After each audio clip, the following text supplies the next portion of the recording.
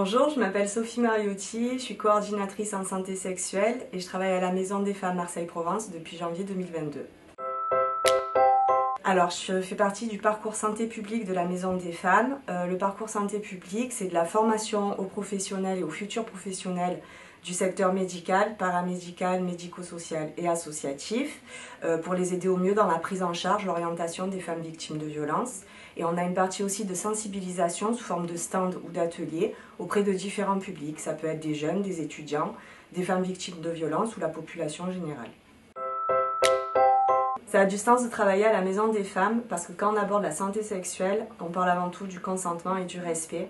Et le fait de sensibiliser et d'éduquer est le meilleur vecteur pour euh, prévenir les violences. Prévenir, accompagner et sensibiliser.